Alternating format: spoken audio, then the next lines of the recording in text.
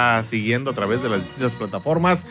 Don José Gómez, ¿qué tenemos en la música el día de hoy? Seguimos disfrutando de los temas que van muy ad hoc con esta celebración de un aniversario más de la Revolución Mexicana. Esto que es, sin duda alguna, del dominio popular, la Adelita. ¿Qué tal? La delita, sí. Oye, sí hubo nombres en el pasado donde le ponían a sus hijos Anib de la Rev. Sí, sí. Cuando nacían hoy. ¿Sí? Ya no se puede. Mañana. el- Sí, perdón, mañana. A ver, nos manda este mensaje Delia, nomás diré que es Delia. Dice: Quieren celebrar el Día del Hombre y no les sale barba, no toman caguama, usan pantalones de tubito y le van a la América. ¿Tú? No, este, en general, ¿Ah, tú o...? los que dicen del Día del Hombre. A mí, Ah. mira, a mí ni el fútbol me gusta para empezar. cabrón, digo. Ay, pero bien que ibas ahí al, al bohío allá arriba. Sí, pero yo iba a echar chévere, no a ver el fútbol, digo. Hubo una época donde jugaban fútbol aquí, eh, un equipo de tercera división, me parece, ahí en el, en el estadio del Centro Cultural. Yo iba a echar chévere. El no, Ochitipa. no a ver el fútbol. Y lo más divertido era que había muchas señoras que se ponían hasta delante de las gradas a gritarle cosas al árbitro y a los otros jugadores. Es terapia. Entonces, sí, sí, sí, er- es, es un- una catarsis tremenda, ¿eh? Para eso sirve también. A ver, ¿qué tienes? ¿Por qué, ¿Por qué la traes contra mi alcalde hoy? Tenemos alcalde ¿eh?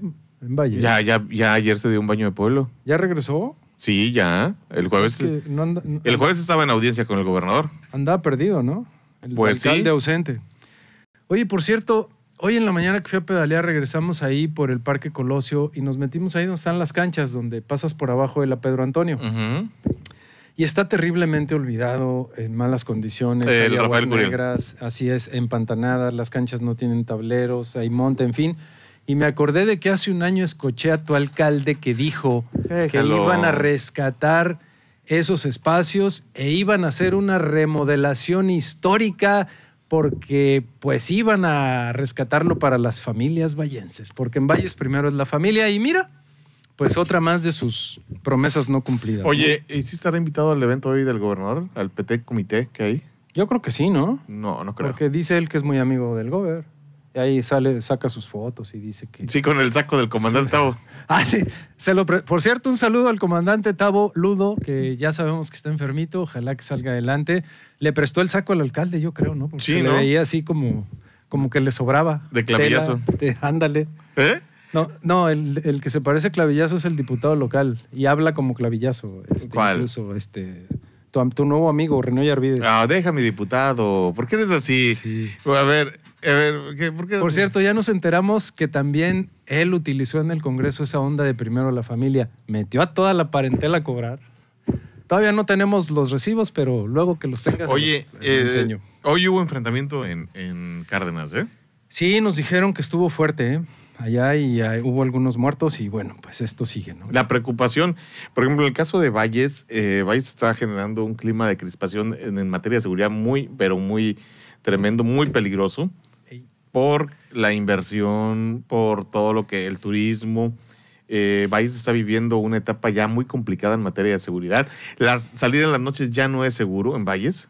No, porque además andan los tránsitos desatados, ¿eh? Hay muchas, me llegan muchos mensajes ahí a la página de personas que dicen que tuvieron que salir en la noche a algún mandado y les caen los tránsitos y andan con todo. Eh, me dicen, es que andan juntando para el aguinaldo, ¿no? El aguinaldo se los da el gobierno municipal, pero sí, este, pues muchas historias y muchas quejas de gente agraviada con el proceder de los agentes de policía vial. Ya yo creo que bájenle tantito, no es, no es el tiempo para que pues anden este, con esas actitudes hacia la ciudadanía, ¿no? Oye, eh, pero vemos que la, policía municipal eh, ha, ha, eh, generado pues una inadversión por parte de la ciudadanía. Mm, lo vimos con esta persona que su niño estaba adentro y su mamá se bajó a hacer un movimiento. Ah, sí, sí, sí. Este, y pues aplicándole terror psicológico al pobre niño, ¿no? Un niño de 10 años. Sí, que nada tiene que ver en ese asunto y que además recordemos que los derechos de los niños pues hoy son tutelados en la Constitución. Pero ¿por qué se ponen así con un niño? Digo, ¿por qué no se ponen con un, una- un delincuente, alguien que trae... Eso es lo que me dicen. Mira, el, el asunto, por ejemplo, de las motocicletas, Samuel, que mucha gente utiliza pues porque es su medio de transporte, su herramienta de trabajo, su manera de llevar a los hijos a la escuela.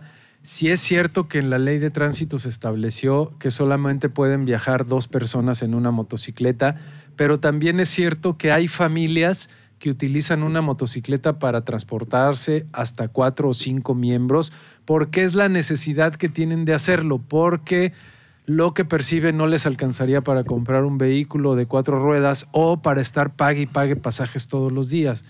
Entonces, es una necesidad que tienen. Creo que independientemente de que esté en la ley, y eso, pues, quiero decirlo con mucha responsabilidad, creo que los agentes tendrían que ser un poquito más flexibles y más tolerantes y entender que en esta época de crisis en que vivimos, que una familia tenga que utilizar una motocicleta para cuatro o cinco miembros, aún violentando el reglamento, se me hace que nos estamos equivocando porque pues hay que ser empáticos con todas las personas, ¿no? Creo que, que por ahí puede ser el asunto. Oye, eh, dice que andamos muy verdes el día de hoy. Pues hay otra manera de andar en San Luis Potosí o qué? ¿De qué color es el, el paisaje de la Huasteca? Verde que te quiero ver. Este, ¿Cómo ves, Pepe? Acá? Oy, oy, oy, Mm.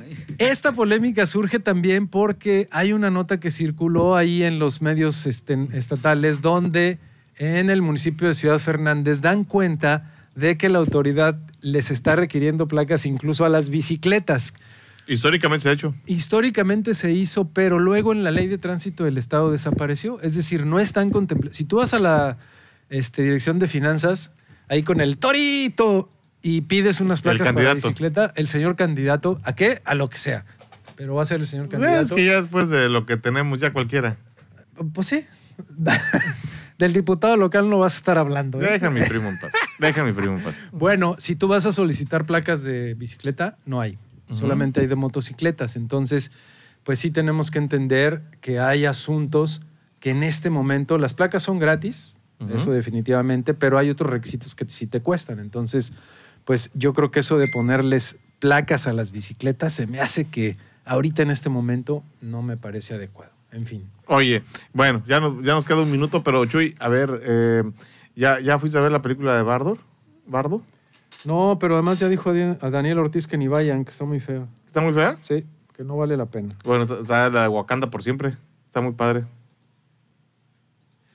Deja, Mira, tu, deja tu aparato. por Espérame, pues es que aquí me están, digo, tengo que escucharle, darle ay, voz a la ay. ciudadanía. Aquí me manda un ciudadano, que no digo su nombre, dice, es cierto lo que comenta de los tránsitos, andan desatados en Ciudad Valles. A mí me infraccionaron por una luz trasera que me dejó de encender. Pues sí. Este, yo creo que es parte del reflejo. de- Mira, vemos una zona de riesgo, la hincada, y ya es tierra de nadie. Pero no es jurisdicción de Valles, dijo Sí. el alcalde. No, sí, cómo no. Bueno, eso dijo él. Es ¿Te parte del acuerdas cuando, cuando pusieron aquellos bloqueos? Pues dijo que no, Los que no era, Los narcobloqueos. no era jurisdicción de aquí, que era de Este, otro lado.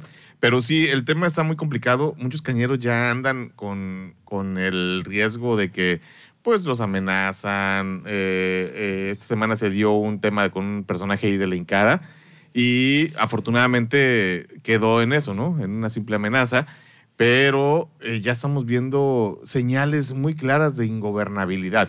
Cuando no le ofreces la seguridad a la población en materia de seguridad y empleo, ya es una señal de ingobernabilidad. Sí, claro, y además, pues un alcalde blandengue que eh, lejos Oh. de ofertar, lejos de enfrentar los problemas, se va mejor, se esconde. Oye, y ya, ¿Ya? Están, están circulando muchos mensajes. Una, convocar a la gente que no los compartan. Sí, Dos, este, no hay que darles todo el, el crédito, claro. pero eh, sí es una señal muy peligrosa, ¿no? De que ya está habiendo un tema de inseguridad. Ya vamos a una, una pausa comercial. Vamos a una pausa comercial. Regresamos. Sigue con nosotros en elsavalles.com Radio. Periodismo diferente. Volvemos en un momento. Este buen fin, llévate una